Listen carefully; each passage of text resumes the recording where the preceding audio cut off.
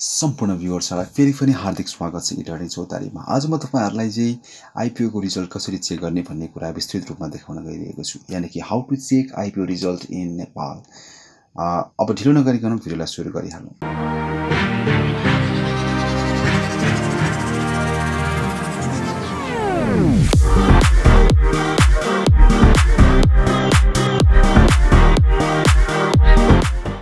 सबैभन्दा पहिला तपाईँले यो वेबसाइट आउनुपर्ने हुन्छ आइपिओ रिजल्ट भनेर यहाँ गुगलमा गएर सर्च गर्नु होला तपाईँले मोबाइल फोनबाट पनि सेम प्रोसेस हो नभएदेखि मेरो सेटको एप्लिकेसन डाउनलोड गर्दा पनि हुन्छ। त्यसपछि तपाईँले यहाँ तल क्लिक गर्नु पऱ्यो IPO result dot CDSC dot com dot NP वा तपाईँले सिधै यो वेबसाइटमा टाइप गर्दा पनि हुन्छ।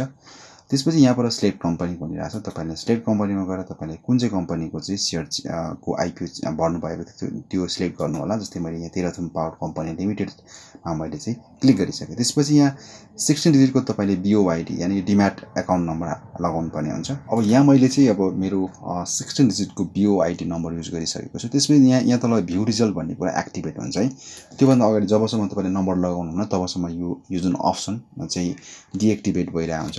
जब तपाईँले आफ्नो बिओआइडी यानि डिम्याट अकाउन्ट नम्बर लगाउनुहुन्छ त्यसपछि चाहिँ यहाँ तल एक्टिभेट भएर आउँछ। त्यसपछि तपाईँलाई सिधै भ्यू रिजल्टमा गएर क्लिक गर्नु होला जब तपाईँले भ्यू रिजल्टमा गएर क्लिक गर्न चाहिँ हेर्न सक्नुहुन्छ जस्तै मलाई यहाँ अहिले चाहिँ आइपिओ परेको छैन त्यही भएर सरी नट अलोटेड भनेर भनिरहेको छ यसरी तपाईँहरूले पनि आइपिओको रिजल्ट चेक गर्न सक्नुहुन्छ।